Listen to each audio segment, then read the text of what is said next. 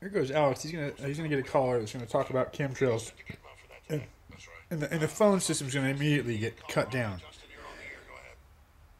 Hello, Alex.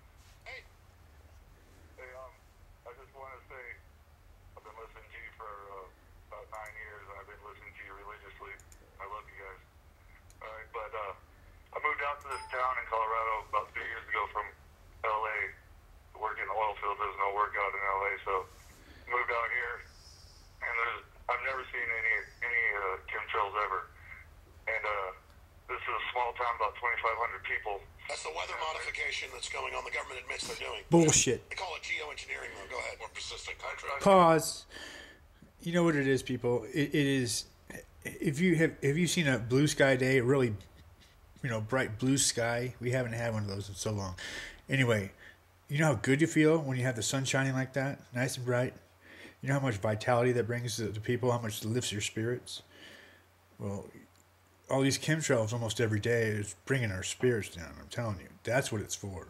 It's to make us docile. It's to make us just blah. Okay. So and Alex, he's not allowed to talk about it. He's he's controlled. Okay. That's why the phone system goes down. Listen to watch this. Seen the chem- I know about the chemtrails. I've seen all the videos. I've seen everything. No, no, I was talking for new listeners that may not know what that is. All right, sorry, sir. He thought I was putting him down. Oh, See, see, the, the, the, there's a thing in talk radio where where you've got to introduce a topic. Nobody does this free for all, where it's just any. Oh, our phone system just shut down. Okay. Oh, okay. Well, good. I, and I might sound grumpy towards the caller. See, see, this is all staged bullshit. He's not allowed to talk about it. Now he's gonna change the subject, and that's Yeah, all there was to I'm it. really sick. yeah. I can't believe See? you're doing the radio. Oh, woe is me. before the show. I didn't, Oh, woe I didn't is me. you were going to do the whole show. Well, it's a lot better than just laying on the like I've been run over. I'm done with Alex Jones pretty much. He just drives me bananas. He's just a fear porn